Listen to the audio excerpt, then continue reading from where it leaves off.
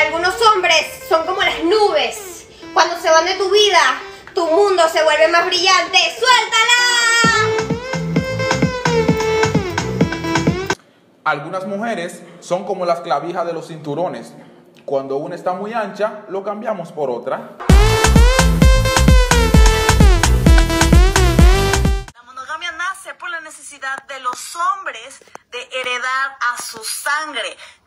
Sí, tiene un origen patriarcal. ¿Por qué, güey? O sea, ¿por qué? Sí, sé que ahora parezco Kaiju, pero vaya locura, me rapé.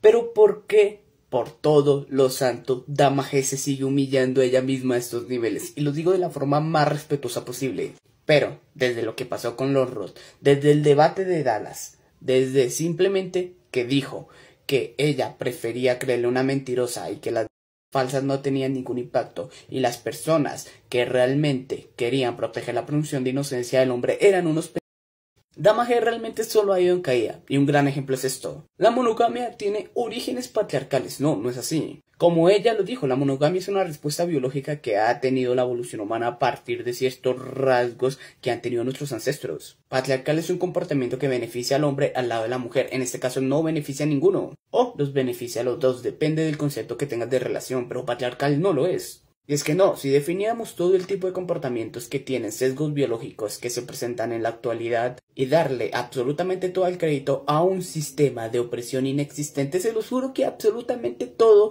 sería extremadamente por culpa de sistemas. Que los hombres tengan el índice de depresión más grande del mundo, hey, esto es culpa de un matriarcado, esto es culpa de un embrismo que pone por debajo al hombre enfrente de la mujer. No, y aún más, lo que dice Damaje tiene menos sentido porque, vuelvo a repetirlo, son rasgos biológicos. Es como decir, no, la menstruación que le da a la mujer es patriarcal simplemente porque la pone. Es como decir que la menstruación es patriarcal simplemente porque los hombres no la tienen y las mujeres sí. Esto, Ayer fue el Día del Hombre.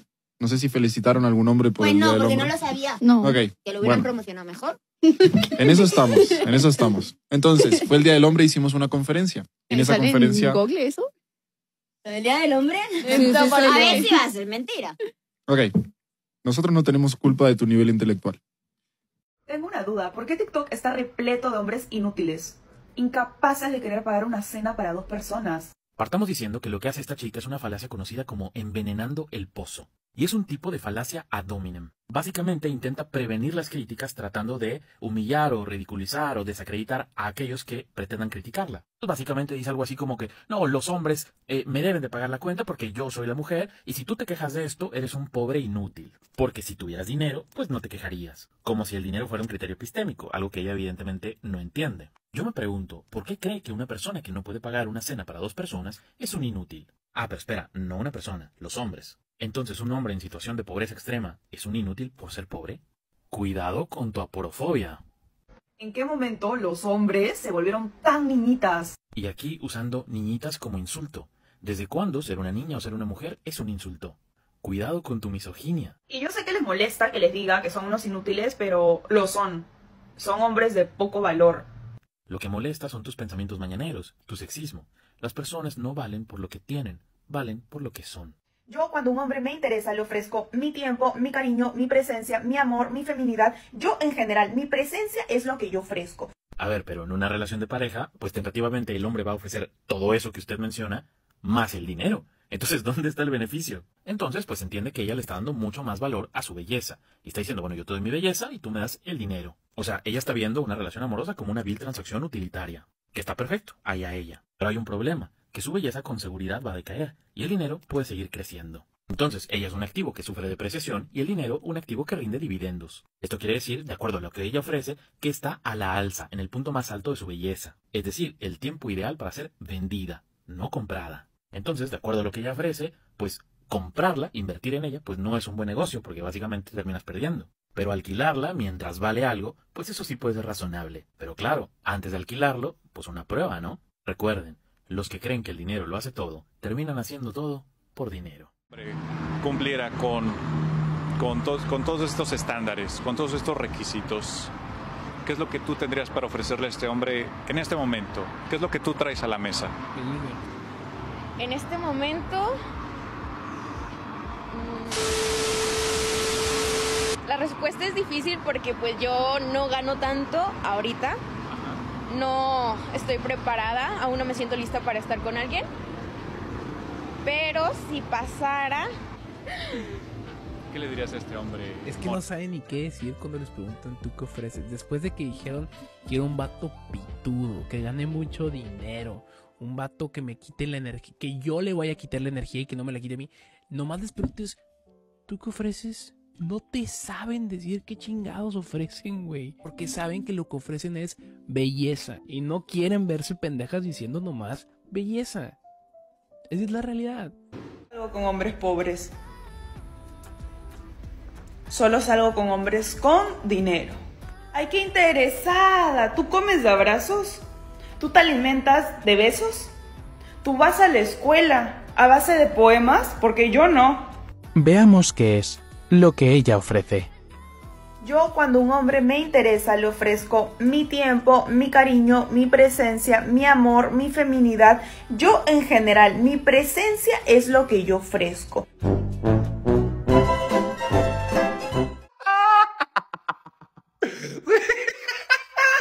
Es que, perdóname, güey, la hipocresía está preciosa. Es que, güey, dice, todos pinches pobres, ¿no? Va. Güey, tú tienes el PayPal en tu perfil para que te manden dinero. ¿Cómo te atreves a decirle pobre a alguien, güey? Tú tienes literalmente el PayPal en tu perfil. O sea, the fuck. Suelo contestar comentarios y mucho menos negativos, pero el tuyo me llamó muchísimo la atención.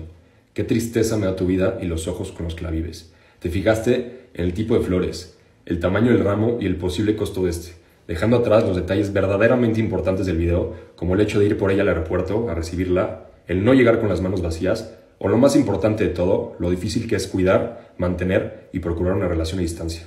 Qué tristeza quien se quede contigo no has aprendido nada sobre el verdadero valor de la vida. Tocó escuchar como acaso cuando estaba hablando vatos le gritaban que ella se callara, que mejor solo cantara, pero cuando Mike Towers o J Balvin hablaban nadie los callaba. No le gritaron por ser mujer. Le gritaron porque se burló de que perdió México contra Argentina. Es decir, metió el dedo en la herida. Y aunque no es justificante para los gritos, es entendible el porqué de los gritos.